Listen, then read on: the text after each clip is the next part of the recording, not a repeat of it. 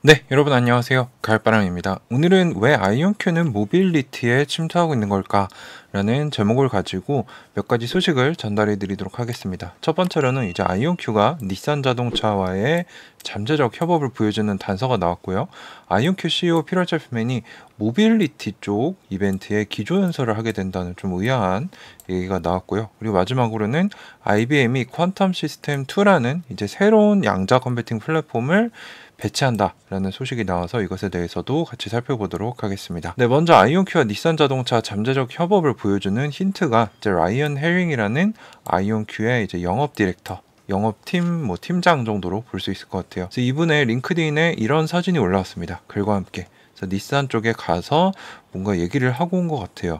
그래서 봤더니 테네시주 러더퍼드 카운티 카운티는 이제 뭐 구 정도로 보시면 됩니다. 테네시주의 닛산 북미 지사를 방문을 해서 아이온큐 팀이 이제 차량 품질 엔지니어링 팀을 만나서 통찰력을 공유했다. 그래서 이 자동차 산업에서 양자 컴퓨터의 혁신적인 잠재력 그리고 아이온큐의 첨단 양자 기술을 닛산의 미래 전략에서 어떻게 활용할 수 있는지를 얘기를 나눴다는 거죠. 그래서 앞으로 이 파트너십을 발전시키고 새로운 영역을 함께 탐험하기를 열망한다라고 얘기를 했습니다. 그래서 아직까지 공식적인 뭐 파트너십 이런 게 나온 건 아니고 닛산에 가서 뭐 이런 얘기를 주고받았다. 잠재적으로 한번 기회를 같이 논해보았다. 뭐 이 정도로 해석을 할 수 있을 것 같습니다. 자, 근데 여기 테네시 주였죠. 요거를 좀 기억을 해두시고요. 참고로 닛산 자동차 우리나라 분들 이제 잘 모르실 텐데 있는데 작년에 글로벌 완성차 판매량이 도요타가 이제 1100만 대 정도로 1위, 폭스바겐 그룹이 923만 2위, 현대차가 730만 3위, 스텔란티스가 630만으로 4위, 그리고 마지막으로 닛산이 포함된 연합체인 미쓰비시 연합 쪽에 620만으로 5위를 기록을 했습니다. 그래서 이쪽은 이제 프랑스, 일본 업체들이 합쳐진 연합체인데 그렇게 작지 않은 상당히 큰 자동차 회사 중에 하나입니다. 그래서 아이온큐가 뭐 지금 현대자동차랑도 자율주행 기술 연구나 뭐 배터리 화학 쪽에서 연구를 하고 있는데 닛산으로도 확대가 되면은 또 좋은 매출을 낼 수 있겠죠. 자 그리고 아이온큐 CEO가 기조 연설을 한다는 소식이 아이온큐 트위터에 올라왔어요.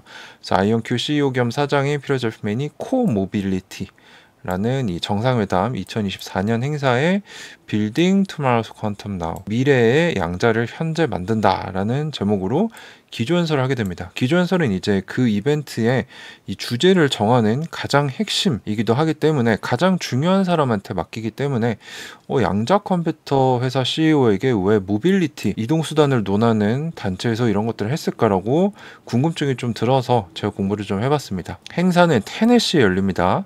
테네시의 차타누가라는 도시에서 5월 20일부터 22일까지 열리는데 이제 어떤 곳인가 제가 찾아봤더니 이동 방식이 변화하고 있다. 그래서 뭐 드론이나 로봇 자율주행 차량이 거리를 횡단하거나 순환하는 등 이동하는 방식의 혁명이 일어나고 있는데 탄소 중립을 위한 경쟁도 진행이 되고 있다.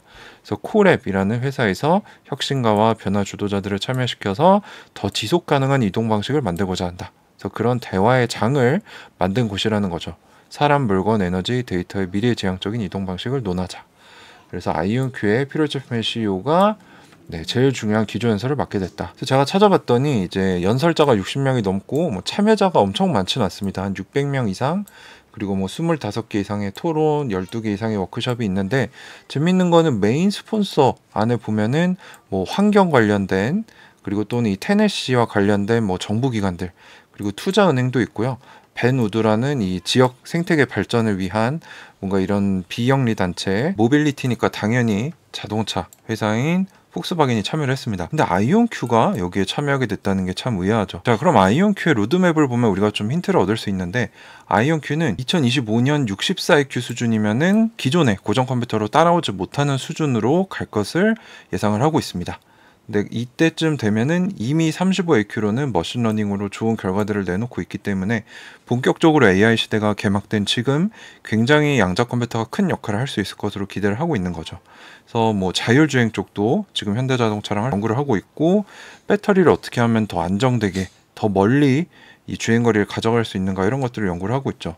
그래서 64AQ를 기준으로 이제 256AQ가 나오는 2026년에는 이제 신자재 개발이나 최적화를 좀 더 빠르게 하는 거 그리고 2028년에는 더 뛰어난 최적화 그리고 양자 화학을 통해 이제 뭐 배터리 쪽에서도 굉장히 큰 두각을 나타낼 수 있겠죠. 그러니까 이 64AQ가 나왔을 때 어느 정도 진짜 쓸만한 응용 사례들이 나와야 이 양자 컴퓨터가 많이 팔릴 텐데 그 중에 이제 machine learning을 제일 중요한 1순위로 뽑았었고 그 다음에 이제 모빌리티 쪽도 침투를 해서 이제 연관된 게 많죠. 이런 것들을 하기 위해서 이 행사에 기조 연설을 맡게 된 것으로 보입니다. 그래서 IonQ의 전략적인 움직임일 수도 있다라고 추측을 할 수 있는 거죠. 근데 재밌는 게 참여한 사람들을 봤더니 닛산의 모빌리티 수석 매니저 Josh Westerhold라는 사람이 또 같이 참여를 하고 얼마 전에 IonQ와 파트너십을 맺은 SC Quantum 사우스캐롤라이나의 양자기구 쪽의 최고 이사 조 퀸넨이라는 사람도 참여를 하고요. IonQ의 최고 매출 담당자 리마 알라마딘도 참여를 합니다. 여기에 이제 IonQ와 관련된 뭐 이제 비영리 또는 이 정부 산하에 있는 연구 조직들 보면 QED-C의 부이사인 조나단 펠빙어라는 박사님 그리고 오크리지 국립연구소의 션 글리슨이라는 오크리지는 또 IonQ에 바륨을 공급하게 되고 이제 IonQ와도 굉장히 밀접한 관계를 가지고 있죠.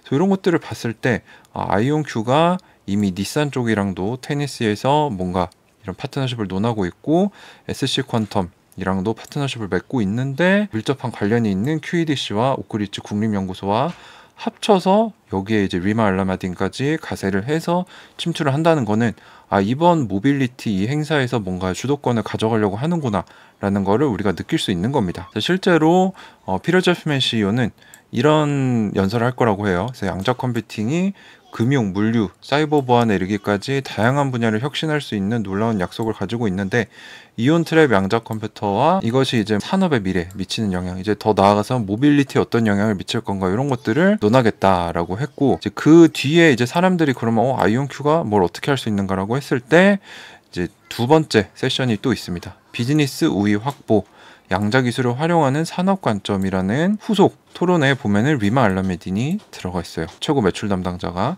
그래서 조직들이 양자 기술을 어떻게 활용해서 혁신적인 영향을 창출할 수 있는가, 어떻게 하면 앞서갈 수 있는가 이런 것들을 얘기를 한다는 거죠. 그래서 이런 부분에 의해서 IonQ가 이번 행사에 상당히 공을 들였구나, 모빌리티 분야에서 기회를 봤구나라고 우리는 추측을 할 수 있는 겁니다. 다음으로 이번에는 IBM 소식입니다. IBM의 양자 컴퓨터 설치 통합 소식이 나왔는데 5월 1일에 IBM이 일본의 RIKEN 일본 국립연구개발 법인 이화학 연구소 굉장히 길죠. 그냥 RIKEN이라고 하겠습니다. 여기에 Quantum System 2를 설치하게 됐는데 여기에 후가쿠라는 초고속 컴퓨터와 통합할 계획이다라는 얘기가 나왔습니다. 근데 IBM Quantum System 2는 뭐냐? 133개의 qubit을 포함하고 있고 이전 세대 대비 이전 세대는 이제 IBM Quantum System 1이겠죠. 큐빗 품질 지표에서 상당한 개선이 이루었다. 그래서 IBM은 이미 이 Cleveland Clinic이라는 미국의 거대 이 병원 업체 그리고 Rensselaer Polytech Institute 여기 이제 Rensselaer 공과대학으로 미국 뉴욕주에 있는 데인데 여기에 on-premise 이제 직접 양자 컴퓨터를 가져가서 배치를 한 바가 있는데 이번 거래와는 조금 다르다는 거죠. 이번에는 IBM Quantum System 2를 설치했고 여기는 1을 설치한 겁니다. 1 같은 경우는 127qubit을 쓰는 IBM 이글 프로세서를 사용을 하고 있고요. 그래서 이번 건은 최신 세대를 설치하는 첫 외부 사례이고 두 번째는 후가쿠라는 슈퍼컴퓨터와의 통합을 해서 이 고전 양자 하이브리드 뭔가 뭐 응용 사례나 플랫폼을 만들겠다 라는 것을 포함했다는 점에서 다르다는 거죠. 그래서 후가쿠는 세계에서 네 번째로 강력한 슈퍼컴퓨터이고 후지츠라는 일본 기업이 직접 만들었다고 합니다. 그래서 10억 달러의 건설 비용이 들었다고 하네요. 그래서 조 단위 이상의 돈이 들어간 슈퍼컴퓨터인데 IBM의 초전도체 양자 컴퓨터를 가져와서 합치기로 했다. 그래서 라이켄 같은 경우는 후지츠와 컨티니엄 같은 다른 양자 컴퓨터 기업들과도 협력 프로젝트를 하고 있는데 IBM을 선택한 것으로 보입니다. 여러 개를 써보고 결국엔 초전도체를 선택한 것으로 보이죠. 그리고 이 프로젝트의 자금은 일본의 새로운 에너지 산업기술 개발 기구 네도 라는 곳에서 제공을 하는데 네도는 일본 정부가 설립한 공공기관으로 새로운 에너지 기술 분야에서 연구 개발을 해서 일본이 앞서갈 수 있게 하는 이런 활동을 지원하는 어, 공공기관입니다. IBM Quantum System 2는 IBM이 작년 말에 공개한 양자 컴퓨팅 시스템입니다. 이 양자 컴퓨팅 시스템이 뭐냐? 우리가 보통 뭐 양자 칩이다, IonQ Forte다, IBM Eagle이다라고 하면은 칩 자체를 의미합니다. 이제 CPU 같은 거죠. 근데 여기에 극저온 인프라, 제어기기, 뭐 고전적인 서버 같은 걸 붙인 전체 가동할 수 있는 장치 전체를 이제 양자 컴퓨팅 시스템이라고 하는데 그 최신 세대가 2라는 거죠. 그래서 기존의 One에서는 127qubit 수준의 Eagle을 썼는데 다섯 배 정도 오류가 줄어든 133 큐비트 수준의 Heron을 사용하고 있다. 이미 어, IBM 내부적으로는 뉴욕주에 있는 IBM 퀀텀 헤드쿼터에서 3개의 Heron을 붙인 한 399qubit 수준으로 운영을 하고 있다고 합니다. 근데 이번에 일본에 설치하는 게 첫 외부 설치다. 참고로 IBM 퀀텀 시스템 1은 전 세대 같은 경우는 일본, 미국, 캐나다에 설치가 되어 있고 28년에는 부산에 설치될 예정이라고 합니다. 근데 항상 궁금한 거는 IBM은 왜 여기서 얼마를 벌었는지 공개를 안 하는 걸까? 라고 생각을 해볼 수 있다는 거죠.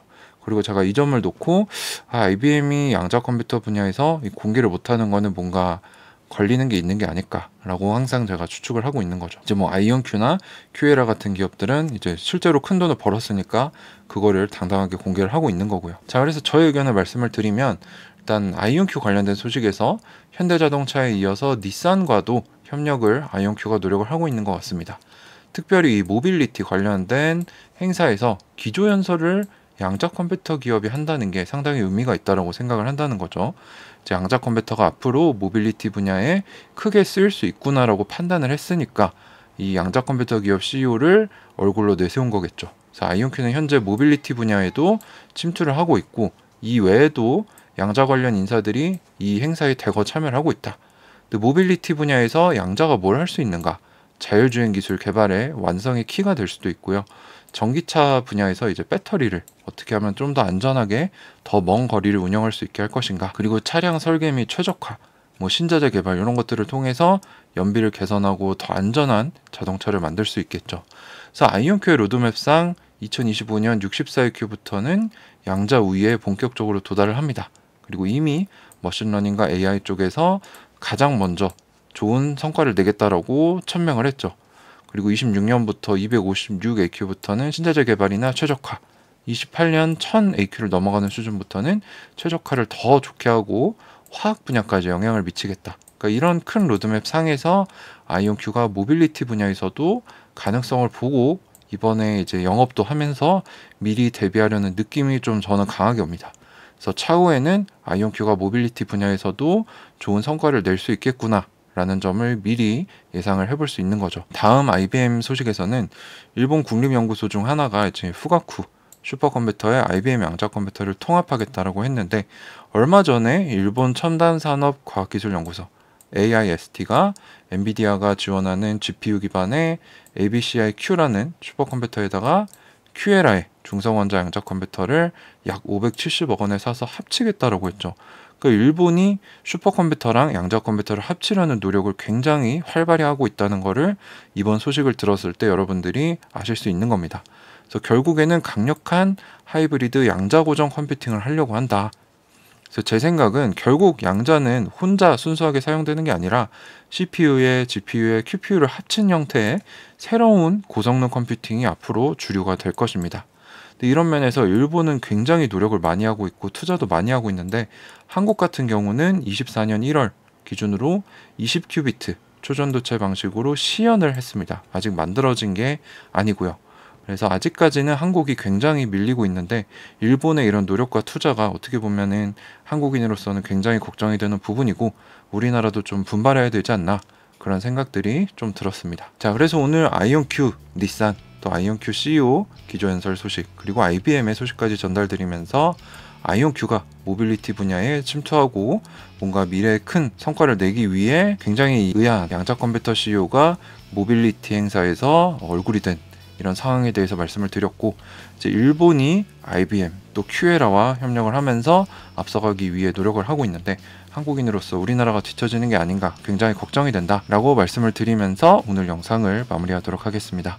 네, 도움이 되셨다면 여러분 구독 한 번씩 꼭 부탁드리고 연휴 마지막 날 밤 푹 쉬시고 한 주도 또 파이팅 하시기 바랍니다. 감사합니다. 가을바람이었습니다.